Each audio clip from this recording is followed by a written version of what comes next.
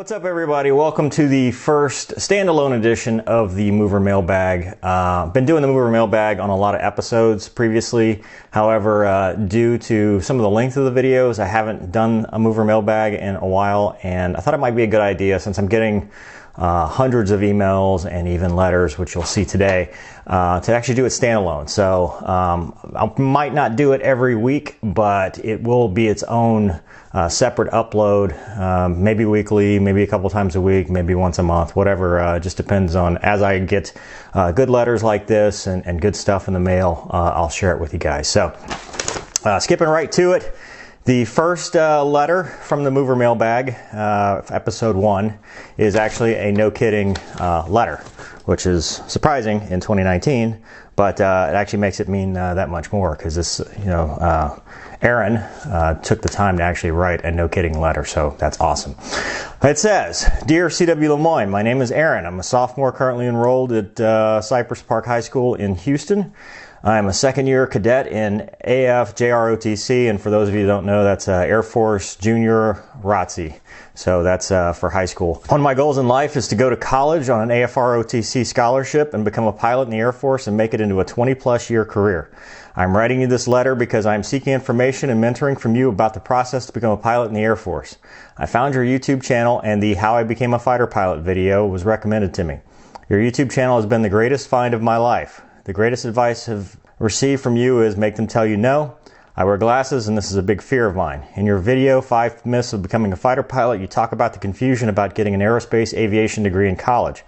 I recently talked to an Air Force recruiter from the Air Force Academy at an air show in Houston, and his advice has totally confused me. He basically told me I need an aerospace engineering degree and that it's basically impossible to receive a pilot slot through ROTC. Once again, I'm reaching out to you because I'm seeking advice and mentoring from you. If you have any time in your busy schedule, please contact me with any information you have. Sincerely, Aaron. Uh, wow. So, first off, thanks, Aaron, for the uh, message. Um, wish you'd left your email address because this might have been a little bit easier to find you. But uh, for the group, let's talk about uh, some of the things that Aaron brought up because I think it's important to share. So, um, first off, I wear glasses. That is a huge fear. Uh, I've talked about it in a couple other videos. Uh, as long as you're correctable to 2020 and um, the prescription, the diopters, are within uh, waiverable limits, uh, which the Air Force Waiver Guide is a good source of that. Uh, you can go up to 2100 now, uh, at least per the ROTC website.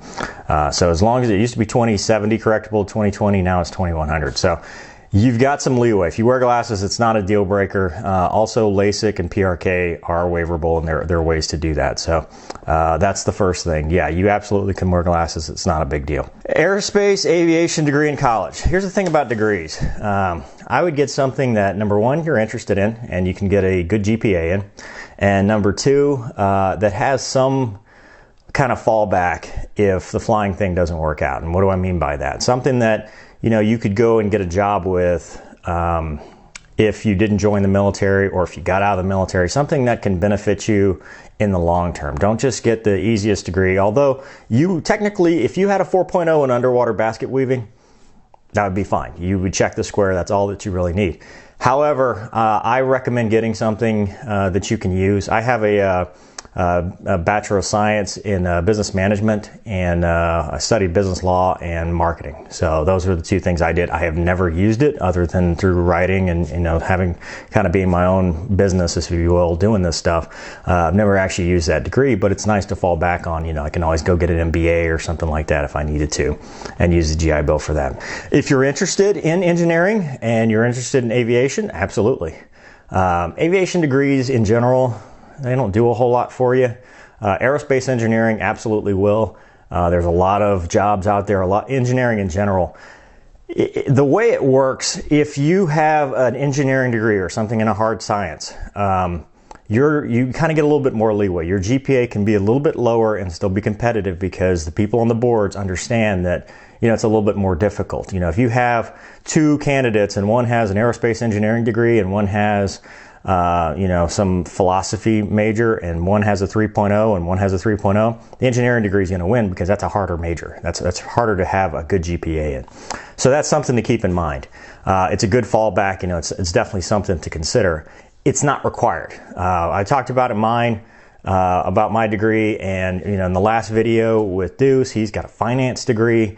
Um, you know, just there's not a lot of it's it's that's definitely a myth that you'd have to have that.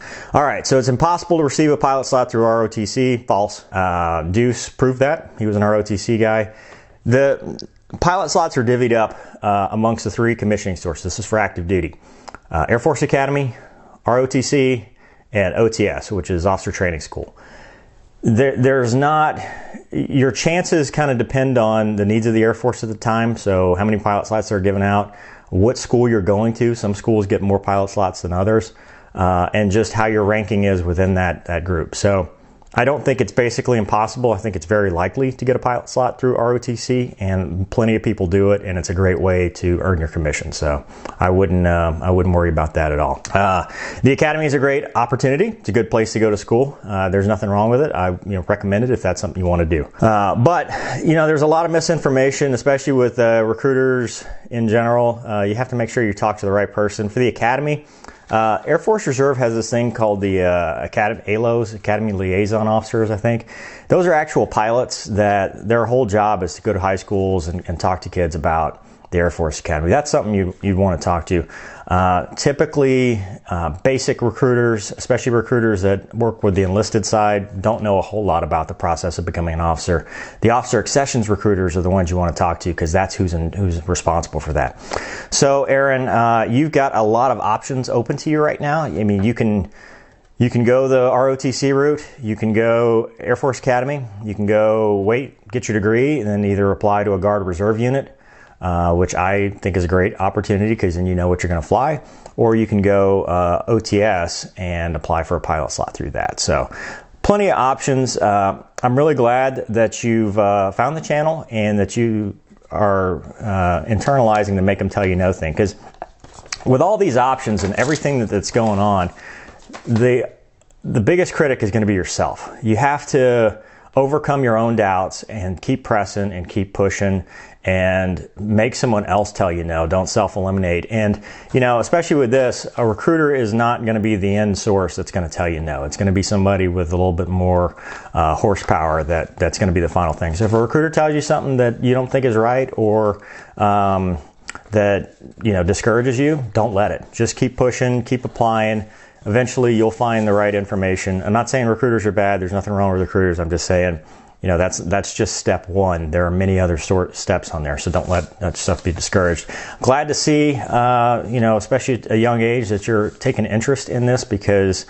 um, you know it's it's a great great career it's a great opportunity to serve your country and it's a it's a great place to be uh, especially in the near future so uh, Anyway, so that's number one. I hope that answers the question. Uh, first, on the mover mailbag, uh, there will be more. In fact, this shirt was from the mover mailbag a couple weeks ago or months ago. Geez, it's been a while. But uh, I'll try to do more of these, even from email or um, through the uh, through mail. If you want to mail me something, uh, as Aaron did, uh, P.O. Box 8594, Mandeville, Louisiana. It's going to be on the screen, 70470. I will try to check that as often as possible. If you want something more quickly, Facebook, uh, or you can follow me on Instagram, although it's a little bit harder to get messages through Instagram. And then uh, CW at CWLemoine.com. Uh, I will try to pick some emails and read them too in the coming episodes. So uh, if you guys like this, please let me know in the comments. I'll do more uh, Mover Mailbag, make it more of a regular thing. Uh, also, approaching 50,000 subscribers, which is awesome. When I hit 50 uh, for the milestone or whatever, we'll set up a uh, live chat, a live Q&A, and I'll uh, do like I did back at 10,000 and answer questions that you guys have in real time and try to have like a one-on-one conversation. So, hope you guys enjoyed it. Thanks for watching. We'll see you next time.